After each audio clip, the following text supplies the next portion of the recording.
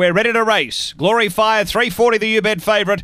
On their way, missing the kick, Minotaur. Pace Marinda out deep is carving through. Glory Fire pushing up's going to hold it early. So Glory Fire hunts through to lead. Minna in second, Marinda. They were followed by Coffee Boy. Then came Charlie Chops, Minotaur. Next, Emily Az and Shaky Shadow back at the tail. Down the back, Glory Fire leads. Going for the inside, Marinda still a length away though. Four or five, Charlie Chops. They race to the turn. Glory Fire leaves the rail. Marinda's got the run. Glory Fire, Marinda. They go to the line. Glory Fire. Glory Fire beats Marinda. Third tight, Minotaur or Charlie Chops. Then came Emily As from Shaky Shadow. And Coffee Boy was back at the tail. The run here is around 30 seconds.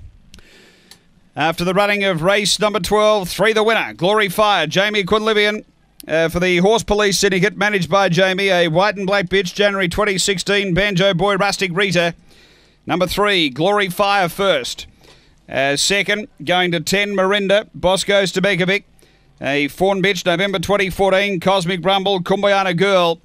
And third, going to uh, one, Charlie Chops, Kevin Manane.